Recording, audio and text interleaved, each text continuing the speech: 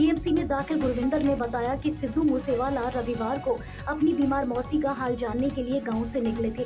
जैसे ही मानसा के गाँव जवार के में पहुँचे तो उनकी हत्या कर दी गई। गोली लगने से घायल गुरविंदर सिंह ने बताया कि मैं पीछे गाड़ी में बैठा था और दूसरा दोस्त गुरप्रीत सिंह उनके साथ वाली सीट पर बैठा था। गुरविंदर ने बताया कि सिद्धू मूसेवाला की मौसी बीमार थी। वो अचानक उनका हाल चाल लेने जाने के लिए तैयार हो गया। गाड़ी में पाँच लोगों के बैठने की जगह नहीं थी, इसलिए उन्होंने अपने सुरक्षा कर्मियों को साथ नहीं बैठाया। गुरविंदर सिंह के मुताबिक, जैसे ही वो गाँव के कुछ दूर पहुँचे तो सबसे पहले उनके पीछे से एक फायर हुआ। इतने में एक गाड़ी और उनके आगे आकर रुक गई।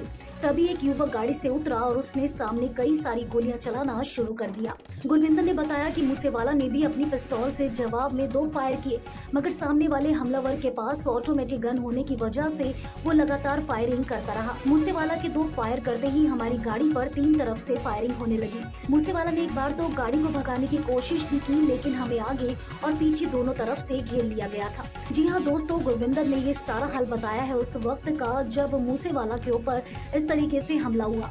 उस वक्त गाड़ी में मूसेवाला के साथ गुरविंदर भी मौजूद थे। डीएमसी के डॉक्टरों के मुताबिक गुरविंदर के कंधे पर लगी गोली निकाल दी गई है और उस पर प्लास्टर किया गया है।